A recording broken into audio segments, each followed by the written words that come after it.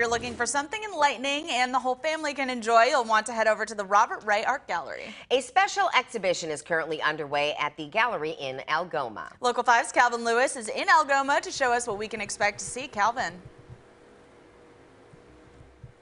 Well, Shelly, Caitlin, good morning to you both. If you're into paintings, sculptures, maybe just some jewelry, then this is the place to be. We are at the Robert Ray Art Gallery talking about the Water Dance Project and some other things that they've got here in store at the exhibition. We're joined alongside the owners, Chris and Dale, this morning. And gentlemen, thank you both for joining us here this morning.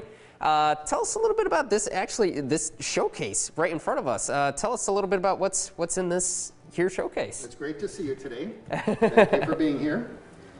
Um, we do carry a number of jewelers and potters, sculptors, and we have an artist that does mobiles also from Green Bay, Stephen Haas. And uh, Elise Warman does the silver pieces in this display case. She's from Milwaukee. She is a silversmith. And um, Bren Sabilski does the sculptures that you're looking at right now. She lives on the edge of town in Algoma. She's known nationally and beyond for her sculptures and has won many awards. Oh my gosh, yeah. Including one in a New York competition. And she just placed second in that national competition this month. Wow. So we're really lucky to have Bren Sabilski in the gallery as well. Yeah, that's quite an accomplishment right there. So, right. I mean, a lot of these artists, uh, you know, from jewelry to paintings, even, a lot of them are local. How do you guys, you know, track these people down pretty much? Do they come to you or do you go to them? it, it, it goes both ways. Bonita Budish has been painting for many decades, and she lived in California for about 20 years before returning home to Wisconsin with her California husband, Robert Theaker.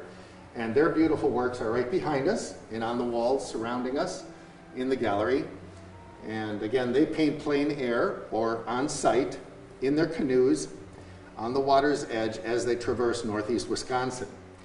And the poetry that's mounted directly below some of the paintings are by partners in this project, this water dance project. This particular poem, which corresponds to the painting above it, is by Paulette Laufer. And there's a number of poems throughout the gallery mounted on the walls for visitors to read as they view the uh, wonderful oil paintings and watercolors. Excellent stuff. Well, guys, some great information there.